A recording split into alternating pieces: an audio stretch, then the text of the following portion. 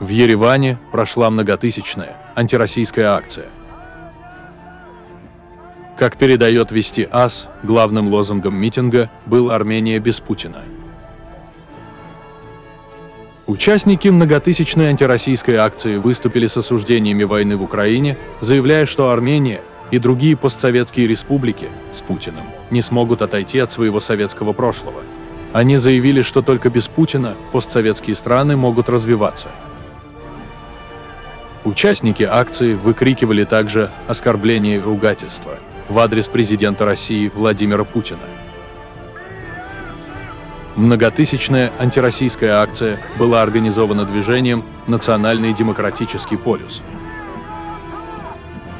На антироссийскую акцию в Ереване были приглашены также граждане России и Беларуси, покинувшие страны в знак протеста против войны в Украине. Организаторы акции предоставили им слово для выступления. На видеокадрах видно, что власти санкционировали антироссийскую акцию, и полиция выполняет роль наблюдателя. Спасибо за просмотр. Поставьте лайк, и если вы не подписаны на наш канал, то подпишитесь. Что думаете вы? Пишите в комментариях. До новых встреч!